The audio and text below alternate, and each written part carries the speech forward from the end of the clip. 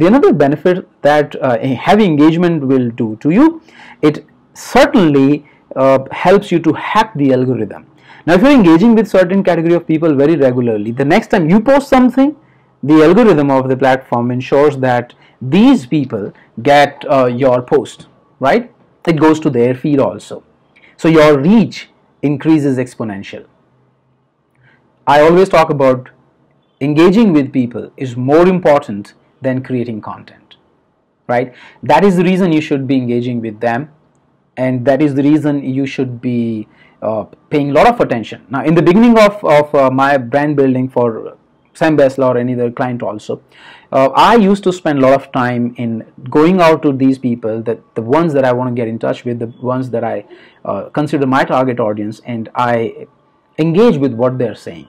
So that's one thing. The second thing that you need to do an engagement with anything that you have posted, and if somebody has come and left a comment over there, you need to respond back to I mean, try to respond to everybody, right? I used to hit uh, maintain a hundred percent respond back ratio at a time. Now, definitely, it's not possible at the moment, but I try to uh, respond to everybody.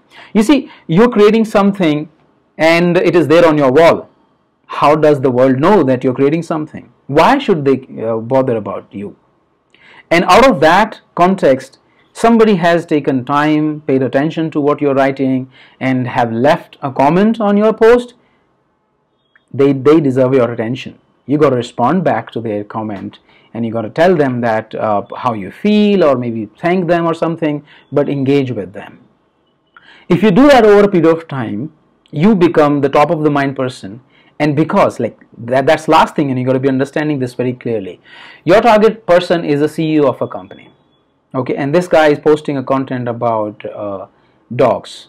This guy loves animals right? And he's very passionate. You go to his profile and you see last week he talked about he posted something about dogs and then previous weeks also he posted something about dogs. You know this guy is very passionate about dogs.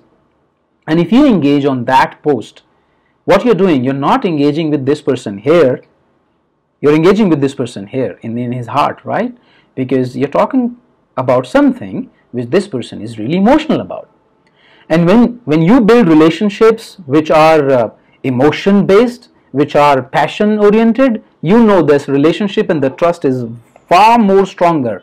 And that likability that person has developed for you will definitely help you when you do reach out to them for a business deal. Engage, my friends, engage. As much as possible, as long as possible. Hope you apply that and hope that was helpful